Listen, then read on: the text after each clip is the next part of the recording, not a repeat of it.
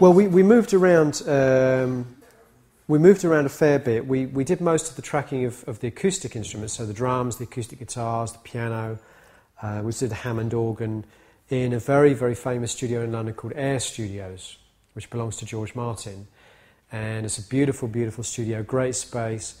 And um, the guitars, I did all of the guitars that were what you would call uh, real guitars. In other words, guitars that are actually going through amps and stuff.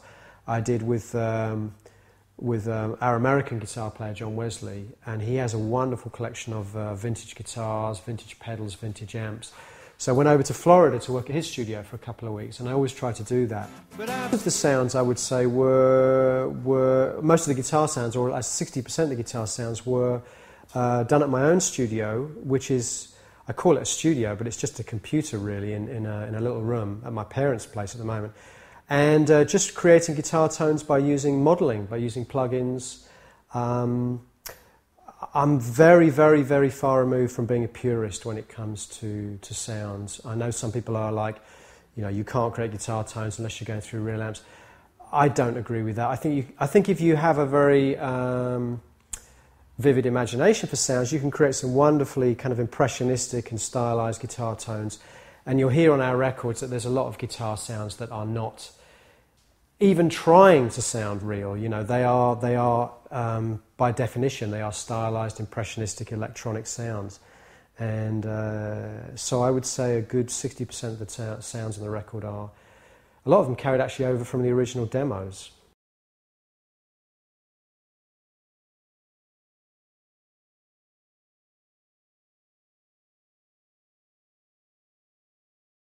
In that case, I, I, knew I knew the kind of tone I wanted. Um, so I kind of hear it in my head, and I think I think at the end of the day, this this is the difference between being a producer and not being a producer. Is a produce anyone can hear a sound in their head. Um, a producer is someone who knows how to realize that sound in a way or at least a good engineer is someone who knows how to realize that sound. A producer at least knows how to explain to the engineer what sound they're hearing in their head. Um, and I think those are things I've just learned over the years by trial and error how to, how to get the sound I hear in my head out into the real world. Um, so, certainly, that would have been something I would have probably imagined in my mind first and a little bit of experiment, maybe not quite the way I heard it, but, but uh, yes, that, that's something.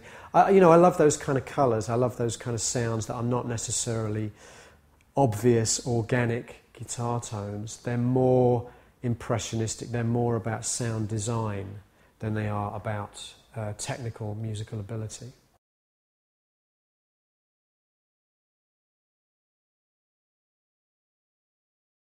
I cannot work unless I'm hearing the instrument in context. Um, because for me, the sound and the texture of the instrument is everything in a way. Um, it's interesting that these days we have a very different approach to working than, than say, the way that people used to work uh, in previous uh, musical generations, which is that they would work on, on multi track tape and very often they wouldn't even begin to put all of the parts of the jigsaw together until they went into the mixing stage. Nowadays, with computer based um, recording, you're mixing as you go along because you can save your mix and recall it. So, as you, as you are tracking instruments, you're, certainly the way I work, as I'm tracking an instrument or a guitar part, I'm finding exactly the right tone and the right volume and everything in the right EQ for it to sit in the mix. And until I feel I've positioned that perfectly in the mix, I cannot proceed with the next stage. And if you think about it, that makes perfect sense because everything in the mix affects everything else in the mix. So, how do you know whether to track a guitar five times or once if you cannot hear it in context? And I think that's one of the beauties about computer recording technology these days, is you can immediately well, you are always, as you go along, you're always constructing your mix. So you record a guitar part and you can place it exactly in the mix with the right sound, the right EQ. And that's very important to me. I can't imagine working any other way. If you have a particular sound and it's a very stylized, impressionistic sound, sometimes just playing one note is enough. if you have a very raw sound, you tend to some perhaps overcomplicate things and, and overcompensate for the fact that you don't have a particularly interesting sound.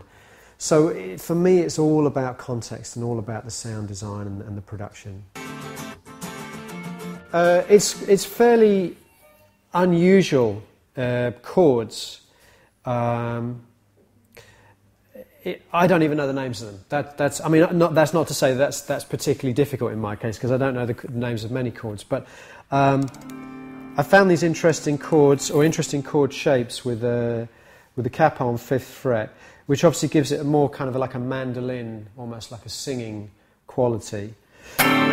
And so we have these uh, two groups of chords, two groups of two chords each, one of which is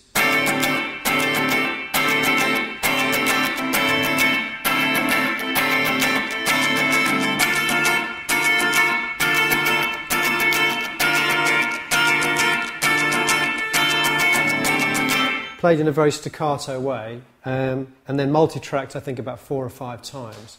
So you get this very big, very lush wall quite staccato, very dry guitars.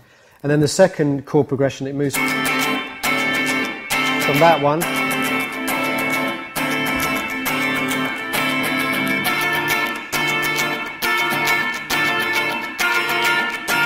to this one.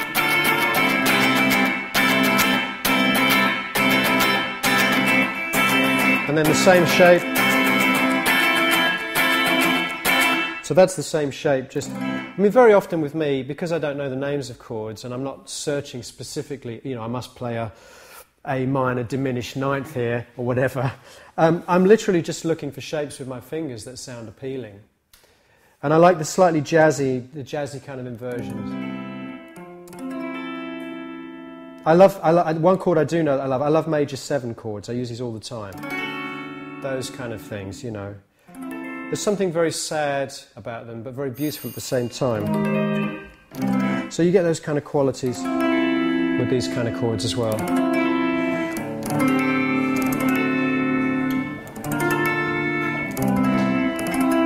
So that was Time Flies, and in a sense, those kind of chords, those the way those chords sounded, did suggest to me quite a nostalgic song. So the lyrics became very nostalgic, very much about my childhood, and it was definitely, I think, a response to the way those chords made me feel. Almost always, yeah, almost always, yeah. Sometimes piano, but yeah, mostly guitar.